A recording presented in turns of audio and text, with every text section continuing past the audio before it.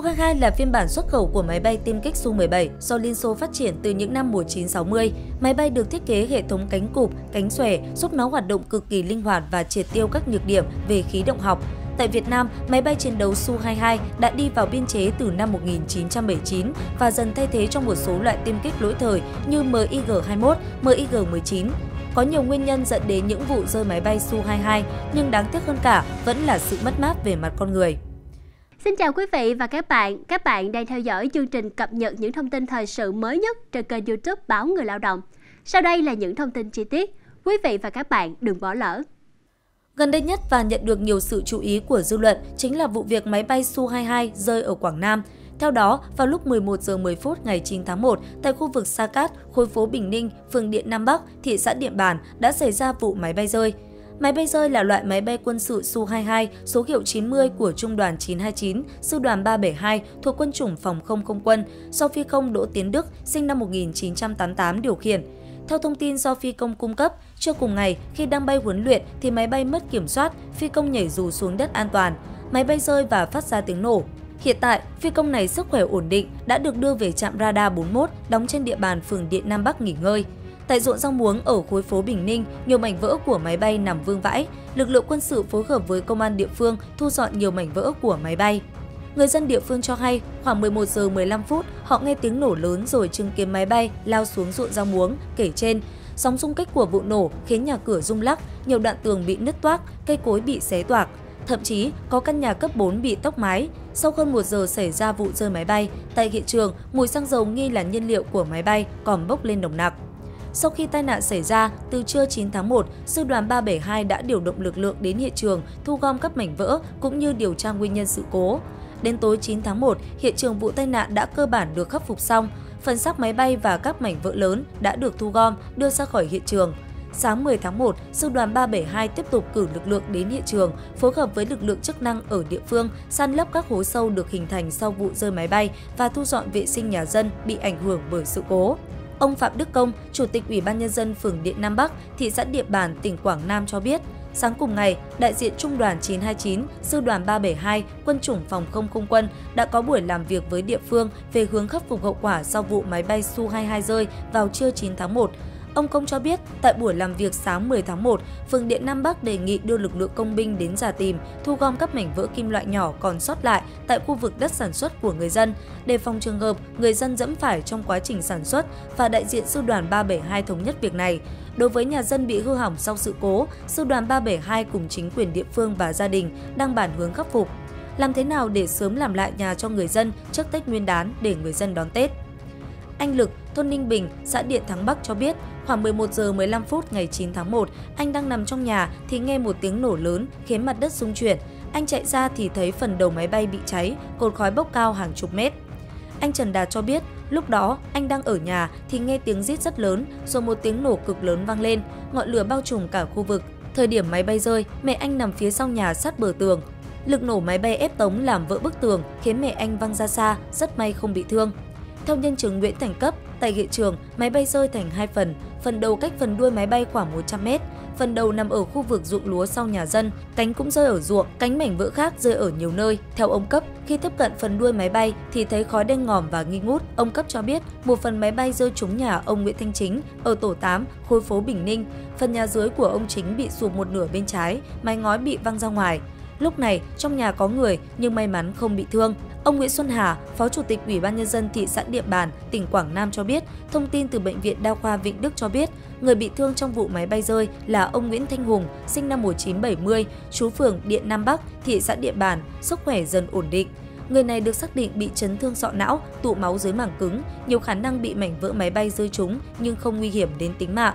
Hiện vẫn tỉnh táo. Người này cũng cho biết tự nhiên nghe cái rầm, sau đó được người xung quanh phát hiện bị thương, đưa tới bệnh viện. Theo đại diện Bệnh viện Đa khoa Vĩnh Đức, thì sau khi được cấp cứu và điều trị, bệnh viện tiến hành may khâu các vết thương ngoài da ở đầu nạn nhân. Hiện tại, sức khỏe bệnh nhân Hùng đã ổn định, rất tỉnh táo, riêng chỗ đầu bị chấn thương sọ não nhẹ nên không chỉ định mổ, hiện vẫn còn phải theo dõi khoảng một tuần, nếu khỏe hẳn sẽ cho xuất viện. Trong chiều 9 tháng 1, cơ quan ban ngành của thị xã Điện Bàn đã đến bệnh viện động viên thăm hỏi sức khỏe của bệnh nhân.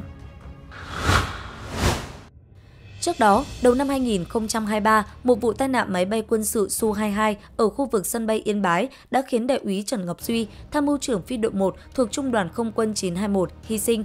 Cụ thể, theo Cổng Thông tin Điện tử Bộ Quốc phòng, vào 12 giờ 9 phút ngày 31 tháng 1 năm 2023, máy bay quân sự Su-22 số hiệu 5873 của Trung đoàn Không quân 921, Sư đoàn 371, Quân chủng Phòng không Không quân do Đại úy Phi công cấp 3 Trần Ngọc Duy điều khiển đã cất cánh chuyến bay thứ nhất, đài bay huấn luyện số 206.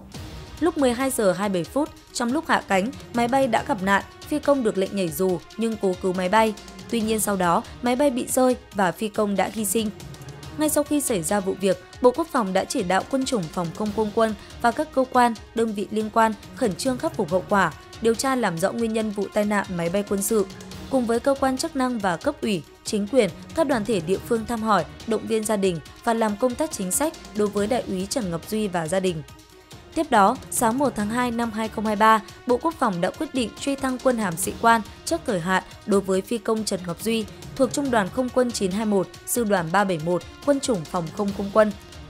Đã hy sinh trong khi làm nhiệm vụ bay huấn luyện chiến đấu. Theo quyết định của Bộ trưởng Bộ Quốc phòng, phi công Trần Ngọc Duy được truy thăng quân hàm sĩ quan trước thời hạn từ đại úy lên thiếu tá. Thiếu tá Trần Ngọc Duy là phi đội phó, tham mưu trưởng phi đội 1 thuộc Trung đoàn Không quân 921, Sư đoàn 371. Anh sinh năm 1992, quê quán huyện Vũ Thư, tỉnh Thái Bình, trú quán tại phường Nam Cường, thành phố Yên Bái, tỉnh Yên Bái. Thiếu tá Trần Ngọc Duy nhập ngũ tháng 9 năm 2010, đã được đào tạo sĩ quan lái máy bay quân sự tại trường sĩ quan không quân và đã từng trải qua các nhiệm vụ, chức vụ phi công, phi đội 2, trung đoàn 937, sư đoàn 370, quân chủng phòng không không quân, phi công, phó phi đội trưởng phi đội 1, trung đoàn 921, sư đoàn 371, sau đó là phó phi đội trưởng, tham mưu trưởng phi đội 1, trung đoàn 921, sư đoàn 371 thuộc quân chủng phòng không không quân. Trong quá trình thực hiện nhiệm vụ, Thiếu tá Trần Ngọc Duy đã tích lũy được tổng số giờ bay 725 giờ 25 phút, từng được khen thưởng danh hiệu Chiến sĩ thi đua cơ sở năm 2020.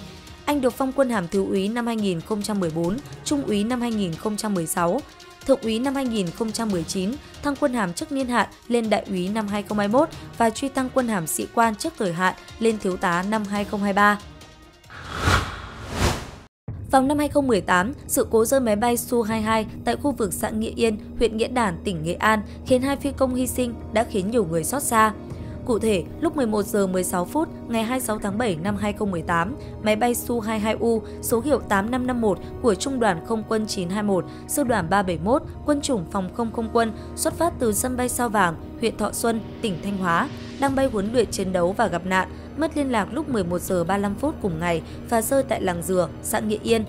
Hai phi công hy sinh là Trung tá Khuất Mạnh Trí, Phó Trung đoàn trưởng, Tham mưu trưởng Trung đoàn Không quân 921, sinh năm 1978, quê quán phường Lê Lợi, thị xã Sơn Tây, thành phố Hà Nội.